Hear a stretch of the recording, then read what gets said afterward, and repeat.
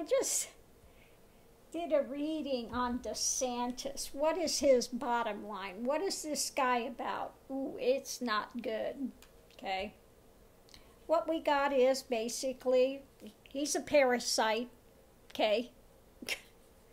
what a surprise. Okay.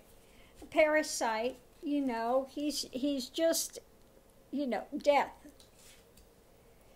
He's out for whatever he can steal, whatever he can get again, all the stuff he's talking is nonsense. Going into it, we've got him out there, you know, spinning his thing, is emotional, and trying to make Gillum out to be something he's not. Again, coming out with the sword, you know, in a not in an honest way. Okay? Slice and dice in a bad way we've got him again going forward, you know, and again trying to say that he's doing the right and justice, and I'm Republican. We believe in justice. We believe in, you know, but uh, yeah, no. Above it tells the tale cruelty, okay? Again, he doesn't care who he hurts as long as he gets what he wants to have, okay? Yep. He's there. And again, the last one, he's lusting after, lusting the strength card for strength for what? Yeah, his ambition, what he's going to get. Line his coffers. Love this one. Lining the coffers, King of Pentacles. Okay? It's.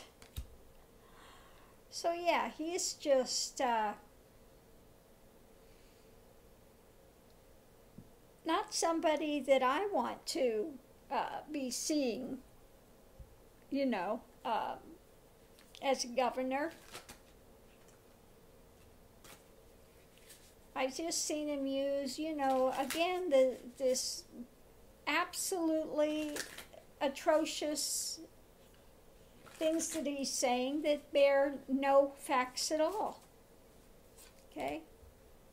Yeah he tries to take Gillum down with lies, with lies and stuff. Yeah. Jeez, this guy is. He's really, uh, he's really dirty.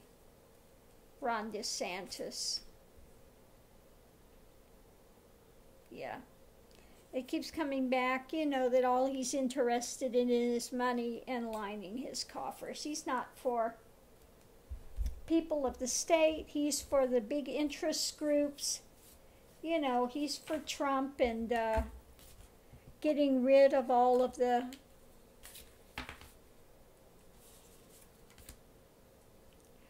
all of the things that we need to take care of the environment.